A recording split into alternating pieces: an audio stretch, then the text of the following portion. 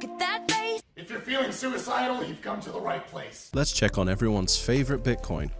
The big, I meant to say cryptocurrency, but there you go. Yes.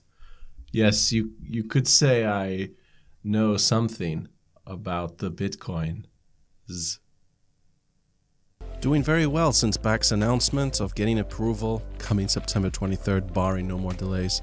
Don't know if correlated, but up more than a thousand dollars since. Now, some people in my comment section were saying that Bakkt is not positive for Bitcoin as people will just use it to short Bitcoin. Now they can, they can do that, but if you're using Bakkt, you have to hold the underlying asset at the same time. So presumably if you're shorting on a place like Bakkt, the idea is that you'd be long-term bullish. I'll give you an example. Let's say that you're net long and want to profit from dips, or for example, you're going both short and long in an attempt to hedge your risks. Currently, we have corrected 22% from the very peak of the market in late June, but at the worst point, nearly 35%. To put this in perspective and potential opportunity in perspective, this chart comes courtesy of Josh Rager on Twitter. Bitcoin often experiences 30% pullbacks in bull markets.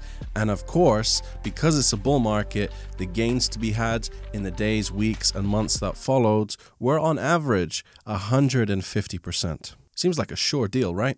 I buy the dip, dipping. I buy the dip, dipping. I buy the dip, dipping. Just one thing to keep in mind though is that this chart shows late 2016 and 2017, so of course, the charts are going up. But if we are in a bull market right now, history could very easily repeat itself. Now, I will make a video when I next buy Bitcoin, and I made a video showing where I took profits recently, but I'm really looking for an absolute no-brainer, like mid 8000s. But I'm totally okay if we don't actually get that low. I get paid mostly in Bitcoin for the occasional sponsored video that I have, so I'm dollar cost averaging into Bitcoin anyway. I'm buying no matter what the price. Really? Let's look at the dominance though. It's got some people talking. Why? Well, the reason is it's paused for the first time in a long time.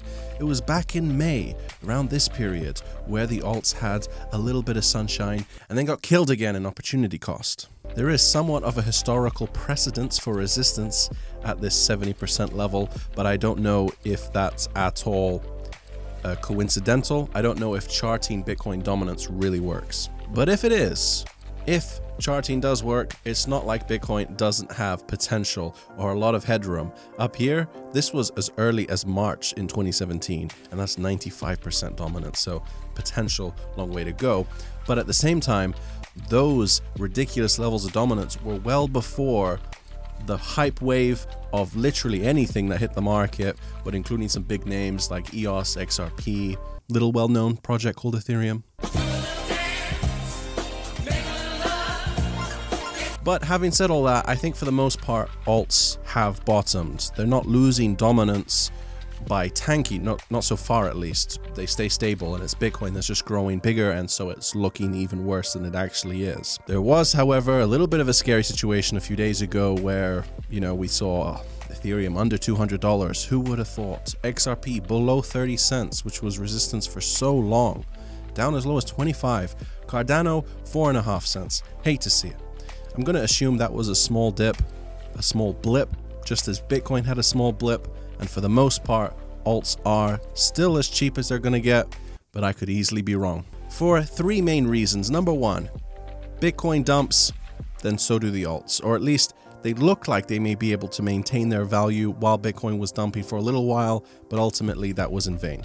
Very much pegged to Bitcoin, not on the upside, but definitely the downside. And number two, if dominance does go this high to 95%, I can imagine more and more people are just getting going to get fed up holding their altcoins. I know I would. Last but not least, it's quite a change in the markets. I feel like a lot of people are wiser. Would you believe it? During 2017, it was kind of edgy of me to say, alts are there for more Bitcoin. That was an edgy thing to say.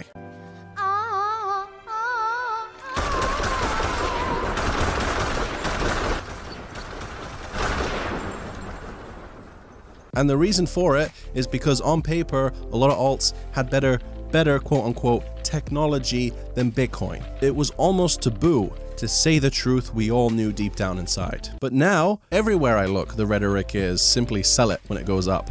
Literally, everywhere. Everyone only wants more Bitcoin in the end, and that does not strike me personally as a very good value proposition.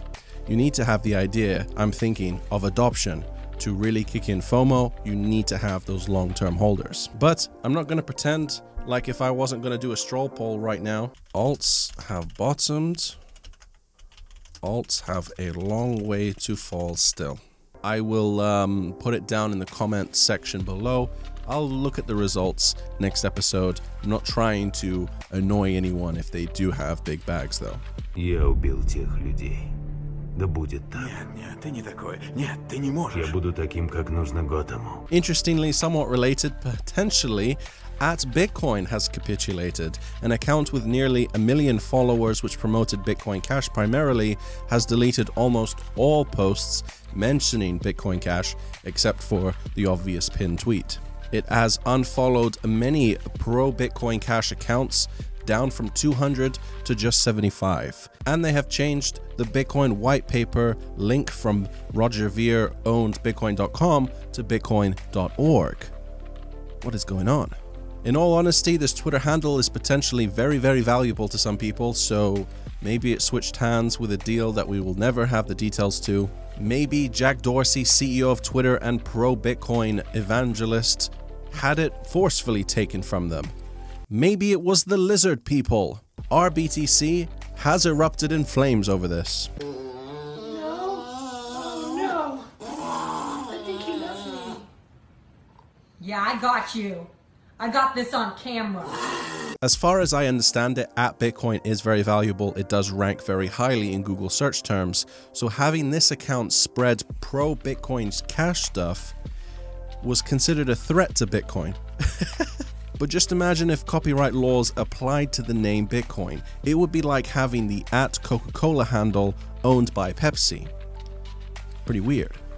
Maybe even a conflict of interest. But in summation, is it alt season yet? You know what?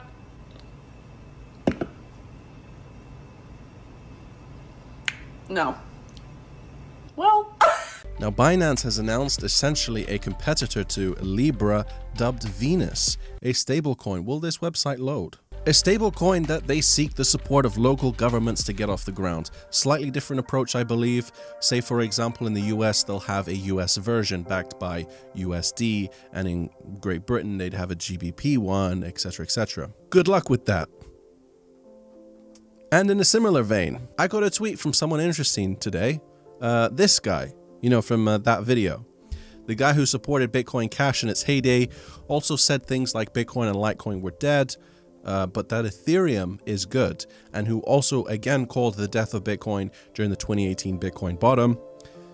You know, a typical expert who you can religiously do the opposite of and make a killing. Now, why would that guy message me? Would it be to threaten me with a libel lawsuit for having made fun of him on occasion? No, but he actually wants help promoting a Libra competitor, to which I politely declined. But uh, I wish him the best of luck, but there's, there's going to be a lot of them popping up, I think. Libra partner MasterCard is building its own cryptocurrency team. Don't know if it'll be another stable-coin, but uh, interesting to see. Let's end with a bit of poetry. Or at least it should be, and it should also be studied in schools. Facebook is launching Libra, Binance launching Venus. Either way, someone is putting it in Uranus. Beautiful. Oh my word, it's finally here. Bakkt have actually been given approval. We're backs in business. My body is ready. My wallet is ready. My resignation form, if I had a real job, would also be ready.